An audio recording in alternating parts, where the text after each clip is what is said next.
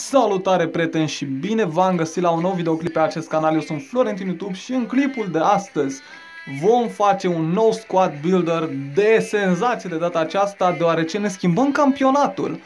Trecem de la serie A Team la Bundesliga și vom construi echipa campioană a Europei din acest sezon. Este vorba de Bayern München. Voi construi această echipă cu un buget de 65 de milioane. O să vedeți nume remarcabile în acest lot pe care vi-l voi arăta în următoarele momente și dacă nici asta nu merită un like, nu știu ce mai merită un like băieți. Deci dacă o să vă placă acest videoclip, nu ezitați să apăsați butonașul de like. Abonați-vă dacă încă nu ați făcut-o pentru că mai avem doar 100 de abonați până la 5000 de abonați. Apăsați și pe clopoțel pentru a primi notificări atunci când postez ceva nou și distribuiți acest videoclip prietenilor pentru ca multă lume să îl vadă, deoarece va fi unul de senzație. Haideți să nu mai lungim prea mult, să intrăm la echipa noastră, unde voi construi Bayern München, după cum vă spuneam. Portarul este deja de la Bayern München, din păcate nu l-am luat pe Neuer, deoarece îl avem pe acest uh, Newbel, Alexander Newbel, nou transferat la Bayern München și cred că va fi un portar foarte bun, mai ales când se va accidenta Neuer. Și are cardul ăsta de la Precision și arată genial. Acest Newbel are skill boostul Diving, interesant. Statusurile sunt acestea. Eu zic că arată destul de bine. Haideți să trecem pe linia de apărare, unde veți recunoaște foarte mulți jucători, deoarece începem cu Davis de 104 de la UCL, un card de vreo 7 milioane în momentul de față. Are skill boost holding, foarte bine. Statusurile sunt absolut geniale, având în vedere că nici măcar nu este crescut acest skill boost. Să mergem și în partea dreaptă, băieți, unde îl avem pe Odriozola, care s-a reîntors la Real după transferul, după împrumutul său la Bayern, dar parcă și Realul l-a transferat în altă parte, habar n-am, dar știu că nu mai este la Bayern. Pe această poziție îi mai, îi mai puteam avea pe Kimmich sau pe Pavard, dar l-am ales pe Odriozola cu acest card de la Star Pass. Eu zic că arată destul de bine băiatul ăsta, are defending la skill boost, super genial.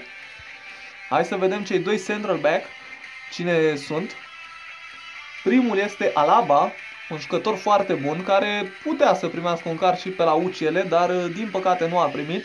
Dar are acest card de la Marky Stars, un card de demult, dar un card șmecher ca design. Aggression la skill boost, nu l-am crescut nici pe acesta. Statusurile sunt următoarele pe care vi le-am prezentat puțin mai devreme. Haideți să trecem la următorul central back, care este nimeni altul decât Gerard Boateng, de 90 de la, cred că de la Global Team of the Week. Aici scrie de la Team of the Week, dar parcă era Global Team of the Week, evenimentul, cu designul acesta mai spre gri, gri-negru așa. Are tot aggression la skill boost, interesant. Statusurile sunt parcă mai bune decât ale lui Alaba, Poate că acest card a apărut puțin mai târziu și de aceea are statusurile mai bune, habar n-am. Haideți să trecem la CDM băieți acum, unde îl avem pe nimeni altul decât Joshua, Joshua Kimmich. 93 cardul de la Team of the Season so far. Puteam să iau și cardul de la Ultimate Team of the Season so far, dar nu prea mă încadram în buget, deoarece vedeți că am mai rămas cu vreo 17 milioane decât. Dar acest Joshua Kimmich Card de Team of the Season so far are Destroyer la skill boost, skill boost de 9, după cum vedeți. Eu zic că arată bine la statusuri. Nu știu ce părere aveți voi, dar eu zic că arată destul de bine.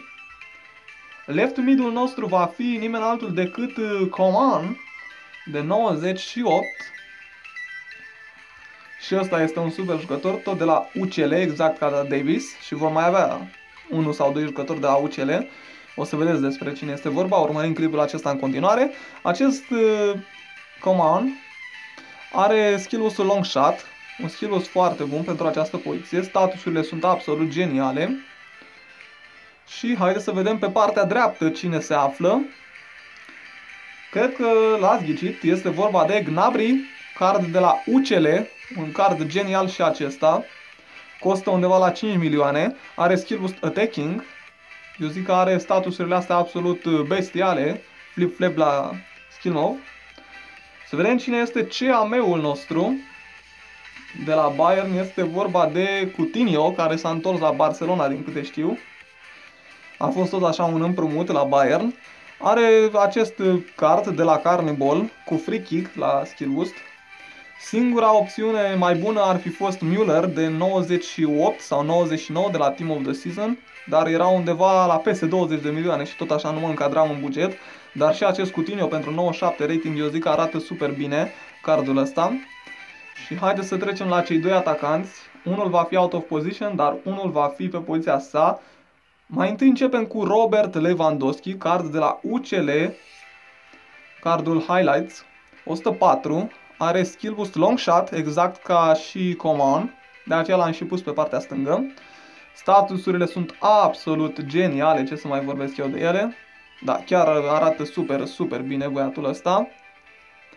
Și ultimul jucător din această echipă va fi out of position, din păcate, dar va fi tot un jucător de la UCL și un jucător foarte renumit uh, pe la echipa asta, a celor de la Bayern. Cred că ați ghicit despre cine este vorba, este vorba de Thomas Müller, card UCL 98, a apărut mai de demult, dar un card super jmecher, are attacking la skill boost, e pe poziție de right winger de obicei, dar îl punem striker în această echipă, deoarece nu avea cum să lipsească din această echipă Müller și astfel ne cam întregim lotul echipei, 113 rating, o echipă senzațională, cred că e cea mai bună echipă pe care am construit-o eu într-un squad builder în acest sezon. Nu știu ce părere aveți voi, dar e genială echipa asta. Voi mai avea, cred că vreo 2-3 squad builder-uri de prezentat în următoarea perioadă de timp, uh, la care o să vă invit să vă uitați, deoarece și acelea vor fi foarte șmechere, dar până atunci, haideți să jucăm și un meci, măcar un meci la Versatec cu această echipă, deoarece e genială echipa asta, mai ales că sunt cam micuți în divizie la VSA și cred că nu voi avea probleme în a câștiga meciul, sunt doar Pro 2, deci haideți să ne vedem uh, de treabă și să găsim un adversar pe măsura noastră. Să vedem câte goluri va marca Lewandowski, câte goluri vor marca și ceilalți. Dar uh, e genială echipa asta. Dacă mă întrebați pe mine, e chiar genială echipa. Și cred că voi păstra anumiți jucători în echipa finală de pe acest cont. Pentru că în seara asta se cam uh, blochează marketul, dar probabil când veți vedea voi videoclipul este deja blocat marketul. Nu știu când voi pune clipul. Sau vineri sau sâmbătă. Nu știu când îl veți vedea voi. Ok, avem un adversar super slab, după părerea mea, 92 rating, 120 chemistry, dar de obicei adversarii ăștia slabi cam pun probleme. Haide să vedem meciul, se va mișca puțin în lag, sau puțin mai mult. Ok. Îl avem aici pe Gnabry la balon. Nu știu ce aș încerca, o pasă ar fi destul de bună. Lewandowski, wow, wow, wow, wow, wow ce lag. Da? Haideți să ne continuăm drumul spre un, măcar un gol, măcar un gol pe lagul ăsta infernal, gol, Gnabry. Bun, haideți să vedem. Tot Gnabry este la balon, nu, este Müller acum și cred că voi da un finez de aici. Wow, cantare l-am dat, bară desigur. Și scăriță, wow, ce mișto s-a dus.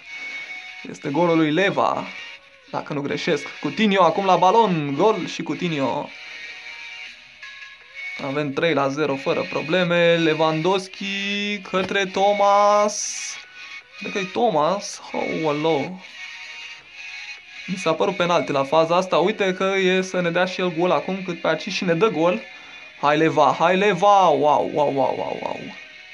Dăm blocaj Lewandowski, dar măcar așa ne vedem și noi uh, apărătorii poate, poate marchează vreunul dintre ei gol. La faza asta fixă nici măcar o șansă n-a avut aici.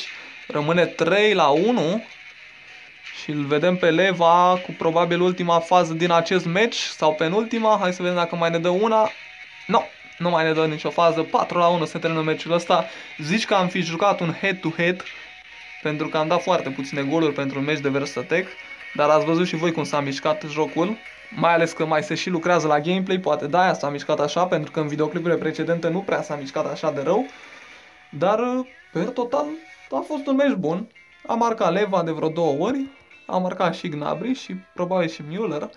da, cam acesta a fost uh, videoclipul de astăzi. Eu vă mulțumesc pentru vizionare, sper că v-a plăcut și dacă da, nu ezitați să-i dați un like, să dați și un share prietenilor și să vă abonați, pentru că asta este cel mai important. Până la următorul clip, toate cele bune, la revedere!